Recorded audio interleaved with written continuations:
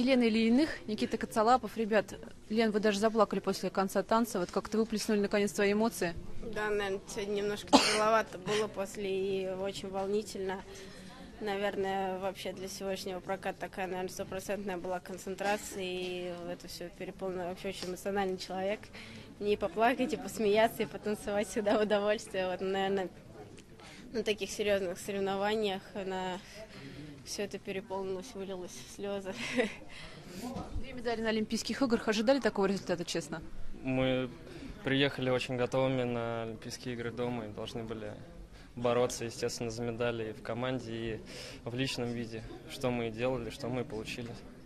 Где волновались больше, в командных соревнованиях или в личных? Личных, я думаю. Знаете, когда выходили на командные соревнования, присутствовала тоже от- такая ответственность с такой командой вместе стоять за свою страну. А, Да, нер- нервничали много, но по-доброму, по-хорошему, по-злому даже нервничали. Вышли и сделали.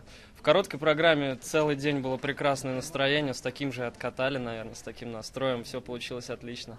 А сегодня был, наверное, очень долгий день. Для меня он был самым волнительным, потому что состояние было не то, что нервы, а больше такая невыспанность, как будто немного усталость. Но все это казалось только от того, что, наверное, закрывались глаза и э, когда при, пришли сюда, вышли на разминку, я просто понес и почувствовал, сколько у меня внутри сил и сколько эмоций, энергии, и выдали это в прокате.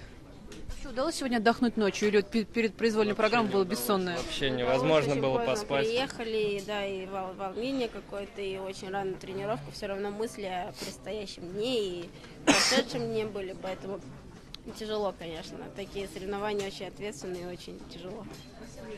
Спасибо.